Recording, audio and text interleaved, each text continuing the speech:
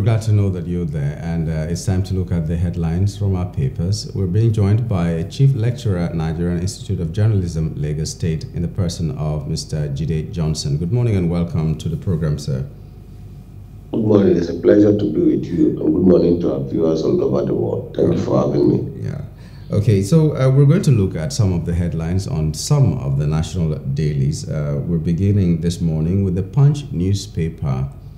Uh, the Punch newspaper leads with the story Reps reallocate 5 billion naira yacht vote, uh, Navy clears Tinubu. And the writers on that story are Navy, not Tinubu, uh, requested the yacht for operations. That's according to presidency and naval spokesman. And then Senate okays 17.5 billion uh, naira yacht, air fleet, reps approve uh, 54 or 546 billion naira defense budget. Okay, so your comment on that. The Senate passed that uh, uh, section of the bill, or they passed the bill, uh, including the five, uh, the five uh, billion naira um, for the yacht to buy the yacht for the president. At, at least that's what the people felt it was. And then the House of Reps said no, they are not going to pass it like that. They took now that five billion and added it to the student loans. Would like to hear your comment on uh, the whole thing. First, there will be reconciliation between the version of the bill passed by the reps and that of the Senate so that they can forward a cleaner bill to the president for his assent. And that, that will be done. Uh, and then, secondly, uh, you see that the House of Rep responded more to public outcry yeah. compared to the Senate, which is uh, made up of former chief executive, former governors of respective states and you will see the difference between the Senate and that of, of the House of Rep. Going forward, uh, we'll see those that will respond to the needs and the yearnings of Nigerians and those that will respond to the needs and the yearnings of the political class. Um, thirdly, um, this issue of this item shouldn't even be part and parcel of what, has, what should have been presented. Forget about the spin with the naval um, spokesperson coming out to say that it is the Navy that require as if Nigerians don't know the difference between a naval gunboat, a naval warship, and in a yacht. It's just like someone telling you that you don't know the difference between a Ferrari and um, a Lamborghini and then um, and then um, a, a, a, armored personnel carrier vehicle. So um, sometimes they should not take us to be a fool. That particular item is insensitive to to to to to to to, to, to Nigerians and is is inconsiderate considering the fact that in his independence speech, which is just um, some few weeks away, which was just for some few weeks away, the president said Nigerians should be ready to make sacrifices. You would have expected that that sacrifices would have extended from top to bottom, not the kind of items we are seeing in the supplementary budget. You can't be borrowing money to fund your lifestyle. Nobody does that not even in this state of of, of the economy we have found we have found ourselves. So there's no amount of spin the Navy can do to it, and there's no amount of spin the presidency can do to it. It's it's a bad item. And I think what the presidency should have done without even waiting for the Navy spokesperson is for them to have come out openly and said that, you know what, in view of the public outcry concerning this, we are withdrawing this. And then the presidency will have gained some measure of public sympathy, at least that, well, this is a listening government and not um, rather we have a situation whereby the Senate passed it, the rep um, um, did um, um, what is given to them by the constitution, which is the power to have control over the cost, to move that same amount of money into the student loan, into the student loan scheme. As far as I'm concerned, if you look at it overall, it was bad optics for the government, particularly the presidency, that they were considering doing all of those items that were listed in that supplementary budget in funding the obstetrician lifestyles, which an average Nigerian cannot even afford afford to even survive in this in this in this present economy. The price of foods, goods and services has skyrocketed. Inflation is is is, is unbelievable, um, and the level of poverty has, has seriously increased. So, as far as I'm concerned, let's wait for the reconciliation. Otherwise if you are not careful, um, this particular item will just be swept under the carpet. And they said that in reconciliation, well, the, the version of the Senate was eventually passed and not the version of the House of Reps. So uh, let's wait for the reconciled um, bill and we see how, and look at how quickly they quickly pass such bills. Mm, yeah. The bills with which um, the, the, the, the speed of light they use in passing such bills, such appropriation bill that will fund the lifestyle of people that we have elected in the office. We have elected into office and not bills that will address some of the major problems we are facing as a country, as Nigerians, and major economic crisis that Nigerians are facing. It's unfortunate, but let's wait and see. The the the, the game has just begun. We, we keep our fingers crossed and we keep drawing attention to that what we need to draw attention to. But I want to I want to appreciate the Nigerian public um, for putting the heat on government, the outcry, the public opinion against this ostentatious lifestyle made the House of Rep, which is more representative in nature, um, to, to, to pass the bill, mm. ejecting that um, that that uh, yacht. Probably the thought we don't know the difference between a yacht and, and, and a naval and a naval ship. Okay. Uh, they said because of the fittings on the on this uh, uh, yacht, it was it was supposed to be, well, that's why they called it presidential, and not that it was required by the president. It, it's a very laughable thing, anyway. But let's go to what happened in Imo State. Uh, the Imo State uh, government secured an injunction against the um, labor that they should never protest what is happening to them in that state. And in spite of that, the labor went ahead and did a peaceful protest. And um, unfortunately, the uh, president of NLC was um, arrested. In fact, the NLC are using the term he was abducted and then he was brutalized and so many other things that they've said about it. So this headline says Labour tackles Uzodimma but governor says Ajaero meddling. So Ajaero is meddling in his government by leading the labor union to go and uh, protest in that. I don't know what your comment will be on we have seen, on the Punch newspaper. We have seen the we have seen the increase. The fact that you have democracy does not mean that you can't see despotic tendencies in those that have been elected into public office. But we have seen the, the growth of despotic, autocratic, unimaginable, totalitarian um, um, tendencies from people that we have elected into public office. First, let's talk about the judge. The judge that granted that injunction that there should be in any protest. I think what Labour needs to do, and all those that are concerned with democracy, is to identify that judge, write to the National Judicial Council, and such judge, and then also write to the to to to, to, to the, the, the the the Nigerian Bar Association and other agencies, whether the the Nigerian what's this name of this body that um, body of benchers, and then that such they should withdraw the legal practice of that judge.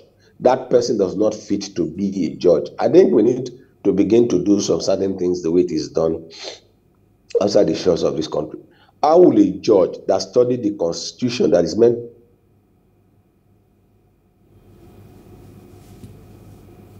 and the rest of it will issue an injunction? I can't I I I can't seem to comprehend that. That's on the judicial level. On the part of um, the governor, the governor should not forget that he's only elected as executive governor. He's not the emperor of the state. People have the rights to protest, and he cannot accuse anybody of meddling particularly in democracy, majority will have their way, the minority will have their say. So as far as people are concerned, they have the right to express their public opinion, right, right to lawful and peaceful assembly, and right to protest. And anything that infringes on that right underscore the tenets of what democracy is, is all about. And we've seen, we've seen, we've seen something which you raise red flag for a lot of Nigerians moving forward. Because if you begin to see this, this template, in 2023, how is 2027 going to look like? We saw in River State, whereby the police released water cannon on a sitting governor, and then it's everything was swept under the carpet. It was like business as usual. And then uh, the, the, the, the, the, the, former governor of River State came out and said uh, impeachment is provided for in the constitution. The constitution does not provide for impunity and abuse. And whenever we see abuse, we must collectively speak against it. What happens to, if that could happen to the national president of Nigerian Labour Congress?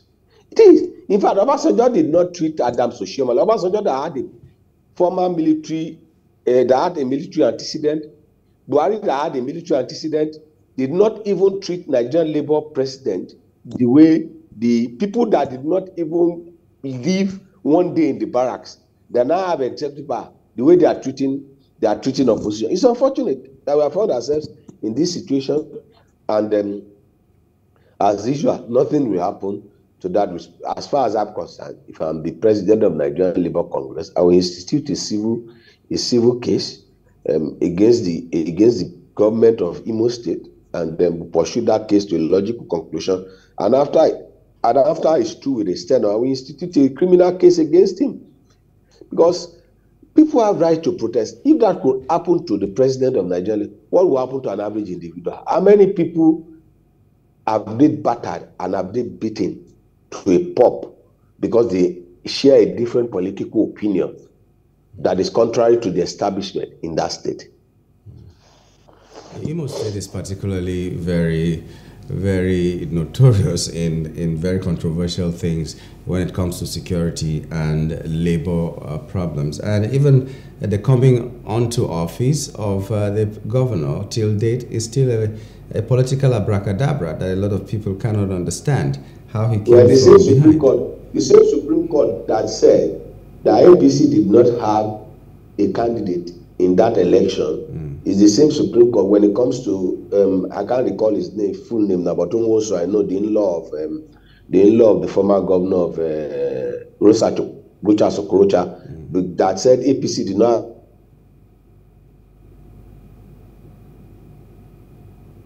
It was that same Supreme Court that declared Opus Odimma as a as as as a governor. So where you have conflicting judgment, and that's why one of the things where a lot of people have lost hope with respect to the credibility of the judiciary. The judiciary is said to be the hope, the last hope of the common man, but it seems that we have an uncommon judiciary because you'll be hearing contrary judgment coming from the same judiciary with respect to the same. You believe that the principle of the law applies universally. Uh, you see, uh, in one state, the principle is applied, in another state, the principle is not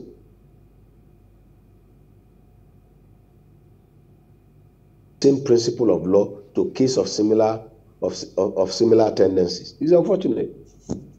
Okay. Okay, so we will move to uh, another newspaper, possibly uh, the Nation newspaper right now.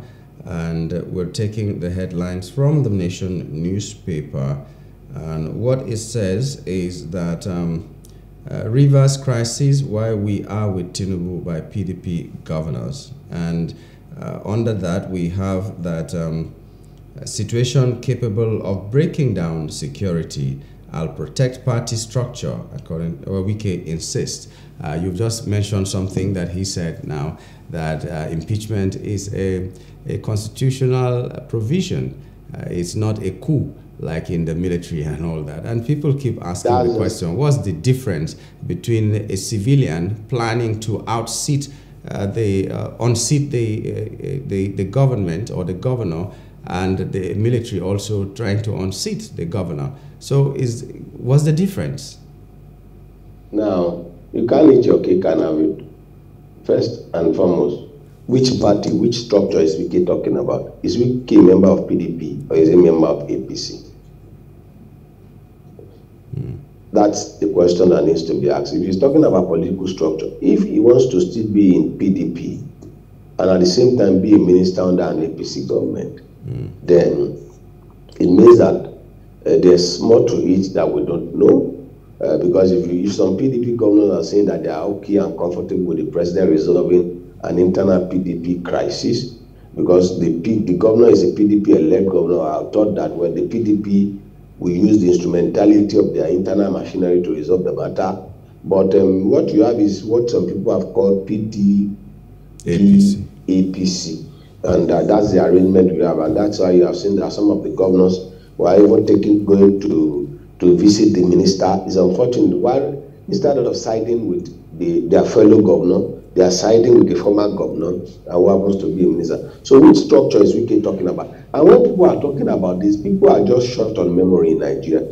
Don't forget that when Wike was Minister of State for Education, and then Jonathan was the president, Wike made an attempt, or people loyal to Wike in PDP then made an attempt to impeach Amechi as a governor. Mm. And that house, at that house where they, they, they I, I, I recall there are video evidences whereby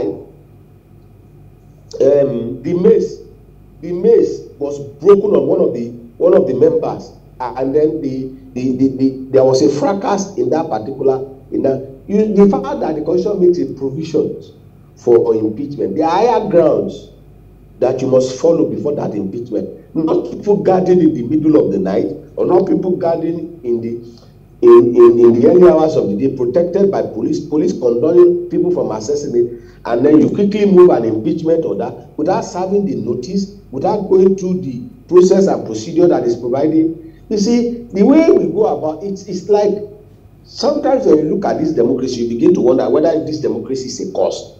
That probably um, the people we have given the opportunity to superintend over this democracy don't even understand the values, the tenets, and the principles and the norms of what democracy democracy is all about. You see, people justify criminality, and that's that's that's that's the danger. If we continue on this path, you see, no matter how long you travel on the wrong on the wrong track, you will never get to your destination. No matter how people, no matter how, if we continue on this path, I can assure you, if you continue on the path of the fact that you can't have a free and fair election, the part that you have too many litigation after elections, the part that several months after the election, some senators have been removed, some House of Rep members have been removed in an election in which we expended a lot of money, and then we now have off-cycle election in which INEC is asking for 18 billion naira, and the same story will repeat itself. You have a situation whereby in Imo, the the, the president of NSC was beaten to a pulp. We have a situation circulating in, in, in, in the media and social media whereby state resources are being used to book all the hotels in Kogi State and in Owerri in Imo State for one week and then using state resources to to to to to book all the hotels for for electoral purposes then there's much to this democracy that we can see as far as i'm concerned uh, those governors that are calling for the president to intervene is just a matter of time. They will decamp to apc there's nothing there's no they will decamp to apc we have we saw the trend in 2003 we saw the trend in 2007 after the emergence of Yar'Adua so we saw the trend in 2014 so it will not be out of place for you to see the trend that is just a matter of time that some of the pdp governors will just go to apc in order for them to secure a second term in office. Okay. That's the easiest and the easiest to win to win election. Okay, let's just let's just wrap it up with this uh, question here. Relief as CBN, um, this uh, headline rather. Relief as CBN begins clearing seven billion dollars FX uh, obligations. Uh, we hear that because of this, even the naira gained a little bit by 50 naira, I think, uh, in the market. It's so uh, this is on Daily Trust. Relief as CBN begins clearing 7 billion FX obligation. In fact, almost all the papers are carrying this and um, would like to hear your confidence or otherwise on uh, the Naira really gaining as much as the government is telling us that by December it will come down to less than a thousand Naira. Look, the value of Naira will not appreciate until we deal with the various demand of the political class for dollar. Check out the transaction and the currency of preference of people holding political offices in Nigeria. Which currency is the currency of preference? In terms of transaction, in terms of exchange, is the dollar. The the, the, the, the quest for dollar as a currency of exchange by the political class from local government chairman, from local government chairman to state house of assembly members, to governors, to national assembly members, to senators, and to um, ministers and people working in the presidency. If you look at the the, the, the quest and the demand for dollar as the currency of preference, then you understand why Naira has lost a significant value. The question you ask is that why, as the currency of Republic of Benin, that is not producing any oil, or that of Cote d'Ivoire, or that of Ghana, okay, or yeah. that of Togo, or that of Benin, why has the, the, value of their own currency, okay. why has it not uh, collapsed? Absolutely like our own. We, we have it on good authority that there was a governor, anytime some states collect their, the local government collect their allocation, they will ask them to go and change it to dollar and they will bring the dollar value to it. It's, it's unfortunate. Look, dealing with the issue of Naira, it's very simple. The exchange rate is very, very simple. Mm. It is a very, very, very, very simple approach. Okay. Yeah, and well. do we have do we have the political will to do it? Okay. Forget about the CBN and the rest of it. It's just the political will to do what's needful. And I tell you, the value of Naira will appreciate. Okay, uh, well, we do hope that uh, the present administration will have that political uh, will to do the needful. This, unfortunately, is here. We're going to uh, end our segment of, of the press this morning. There's so many other um, uh, headlines that we could have loved to touch, but we'd like to thank you for your time this morning, Mr. Johnson. It's a pleasure to be with you. Thank you for having me. Yeah. Have a wonderful weekend. You too, sir. Uh, Mr. Jide Johnson is the chief lecturer or is a chief lecturer in Nigerian Institute of Journalism here in Lagos State. He joined us for Off the Press. Right now, we're going to bring you a recap of what happened in the course of the week. First of all, we're going to take something uh, on uh, River State, uh, the imbroglio in River State, and the, uh, and the questions that were answered there uh, to debunk some of the claims that were flying around in the social media. And after that, we're going to take back to back um, uh, an interview we had with two young women who were lured into going to Dubai for lucrative jobs and ended up as sex slaves so that people stay informed. Stay with us.